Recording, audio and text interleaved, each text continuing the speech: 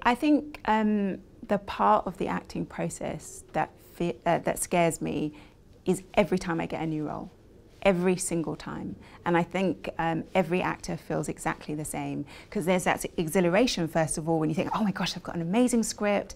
Wow, I've, been, I've got this incredible part. How exciting. And then it's like, oh, how am I going to find them? How am I going to do this? Where is this person? Perhaps this character won't come to me. Like, oh my gosh, maybe I can't act this time. Like, I have that on every single role that I do. And I think if I didn't, then I wouldn't be choosing the right roles because I wouldn't be challenging myself. And I've spe spoken to so many actors and they all feel the same. And I think actors should not feel scared by the fact that they're scared. I think it's a good sign. I think I really do. And I think the fear is a motivator. And I also think um, it's a challenge to learn to use fear and to use it as something that's really positive for you and that works for you and uh, that makes you better. I do consciously try and vary my roles. Um, and also I get bored really easily. So I just feel like if I played one type of role, then I wouldn't want to play it again because I'm constantly looking to challenge myself and really scare myself. I want to do something that I didn't think was possible, that I didn't realize that I could find in myself. So that's how I choose roles. I just choose it on the basis of what, what moves me and what excites me. I think in, in everyday life we get stuck into playing one role. So we see ourselves and we say, you know, I'm shy or I'm serious or I'm, you know, and it's not until you get an opportunity that forces you to come out of yourself that you realize you're not those things at all because we are all made up, we're multifaceted, you know, and we're capable of anything. So, you know, you look at another human being and you say, oh, that person saved someone from rescue, uh, from a, a, fire, you know, building was on fire and they jumped in the, into the fire and they rescued somebody. And I could never do anything like that because I'm not brave enough. But you don't know until you get put in that situation what you're capable of. And acting constantly forces you to, to step into the shoes of someone that you didn't think you'd ever be anything like. And then you discover, actually, I have a lot in common with this person. And actually, I, I, discovered something amazing about myself that I'm capable of all sorts of things that I never knew before. Like, for instance, with me, with Paula and Moonlight, you know, I never thought I would really understand what addiction was all about. And through exploring that role, I feel as though we are all actually addicted to something on some level. And actually, Paula, the distance between myself and Paula is far smaller than I realized. To find Paula was, um, I mean, it was really difficult because I don't drink alcohol, I don't smoke, and I, you know, I don't even like drink coffee. I'm like a complete and utter health nut. So I was really apprehensive about how I was going to find this crack addict that is ultimately, you know, the woman that I was playing. Um, the mother part of things, I thought, yeah, I, I, can do that. But it was the addiction really that was really, um, really scared me. Um, and how I really did it was YouTube.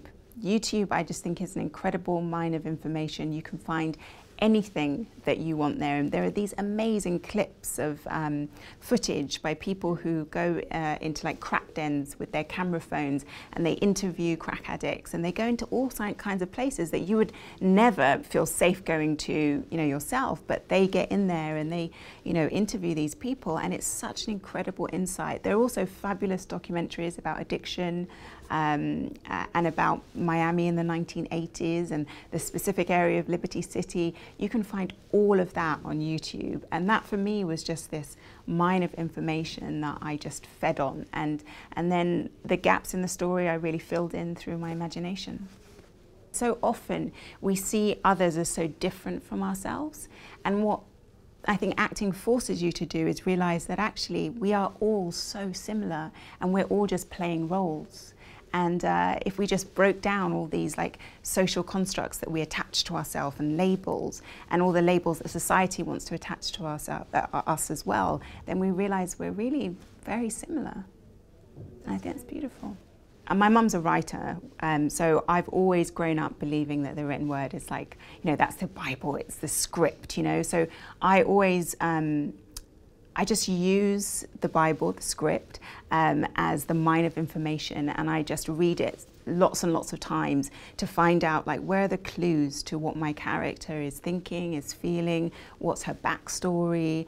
Um, and then once you get all of that information, then there are going to be huge gaps that, you know, there's going to be huge swathes of her life that aren't explored and aren't explained. And that's when you have to do your research and use your imagination. But I love that process. I think it's an incredible um, privilege to be able to create another human being. And then once I've done all that research and I've, I've gathered, all, gathered all the information, then I sit in a chair and I imagine a situation exactly like this. So I imagine that someone is interviewing me and they're, asking me questions like, you know, what was it like when you grew up in such and such area? You know, how did you feel about your father? How did you feel about your mother? What was your experience of school like? And I just answer those questions. And as I'm speaking, then the mannerisms of that person come and uh, their voice starts to come as well. And the more I do it, the more those things come to me. So it's not anything thought through in terms of like, I don't think like, oh, I'm going to use my hands in this particular way as this person or keep my head tilted to the left. But, you know, it's not a conscious decision. I think it should be something that happens to you so that the character, once you've done your research, you have to do your research first. But I think you have to allow the unconscious process to happen.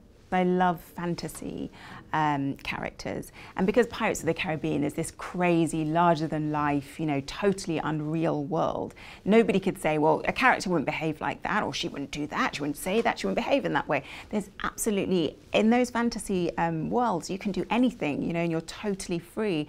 And so Tia Dalma was a total creation of my imagination. And I loved the process of finding her. And I loved how liberated she was and how playful she was. And yeah, so it, it was, that was fantastic for me. And it was the first time that I'd um, kind of explored, actually I'd, I'd done, um, I'd done white teeth before that as well. So I had done a Jamaican accent, but I don't know, I just felt like I was getting in touch with like some part of my Jamaican roots by playing her as well.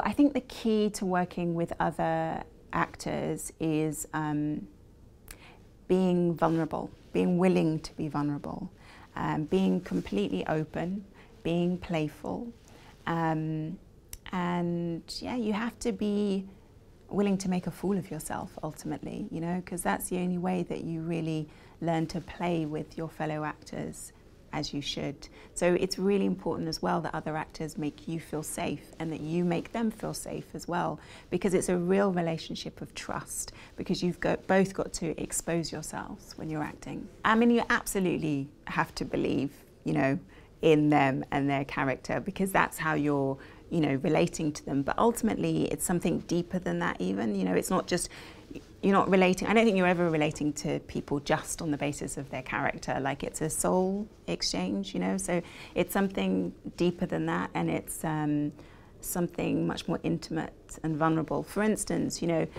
um, when I, doing Moonlight, um, I met my eldest son, who's played by Trevante Rhodes, uh, 10 minutes before we had a very emotional scene where I had to tell him that I was sorry for all the pain that I had caused him in his life and I was sorry that I was such a bad mother and uh, that he shouldn't let that go on and affect the rest of his life and his heart shouldn't be black as my heart was black by all the experiences that I've had. And it was a really emotional scene and we'd only met each other 10 minutes before and we both had to just trust each other to just dive in and uh, and be willing to be like really vulnerable and really exposed to each other and basically open our hearts to each other.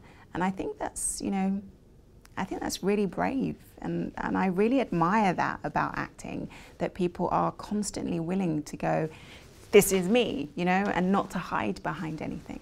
I think you uh, definitely take away something new from each project because uh, each character is forcing you to grow in a new way. I don't think that, personally, I don't believe that characters are ever found on the outside of yourself. I think they're all things that are within you anyway. So it's an exploration journey to find that within yourself and then to bring it into the light. But most of the times you just don't know that those people are within you. Um, and that's what's so special about the journey. And I think that's what's so special about acting is that by finding these different parts of yourself, you grow, you become more whole, and I think you become more complete as a person.